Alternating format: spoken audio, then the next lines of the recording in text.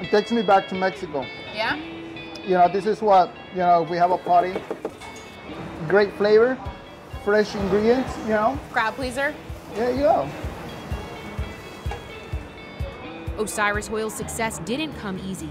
Before he co owned District Taco's seven locations, Hoil was an 18 year old Mexican immigrant who spoke no English. He arrived on a visa in Colorado and worked his way through the restaurant industry before moving into construction. He was making it, that is until 2008 when the housing bubble burst. I was never gonna forget that day because I begged for my job. My wife was pregnant.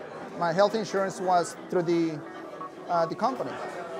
Osiris tried to get work. He looked at construction jobs, even jobs back in the kitchen, anything he could get. I couldn't find anything, not even in the cooking, you know.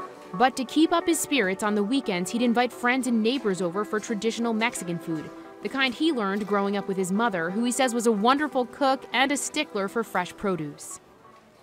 If I bring a, you know, a tomato that looks bad, I will go back again and pick one that looks good because she didn't like the vegetables to look bad. That's one of the things how I was able to choose, you know, good produce. Osiris cooked what he enjoyed eating, taking for granted how delicious those dishes were to others. But a neighbor and tech entrepreneur, Mark Wallace, blown away by the food, saw something that Osiris didn't. I eat my food and I love it, you know, and I just, I never thought that can be something big someday. And then he's the one who said, well, you know, when I go to Austin, Texas, I see these food trucks.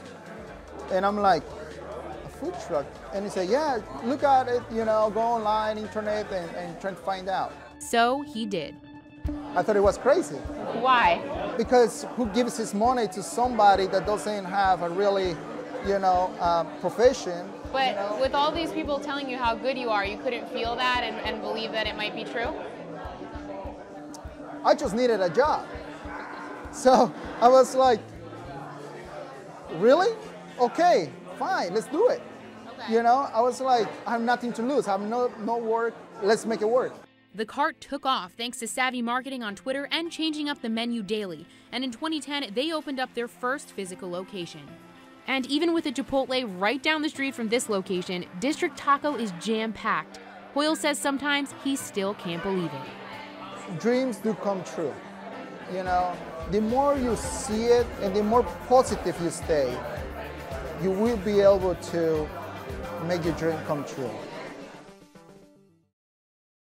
Hey YouTubers, are you looking to land your dream gig or start your own business? Well, you've found the right place. You can learn from fellow entrepreneurs and peers that are embarking on their own journeys. Subscribe by clicking right here and click on all the videos around me or the eye right here to join CNBC on the journey to make it. We're going to motivate and inspire you, but you'll have to bring the fire.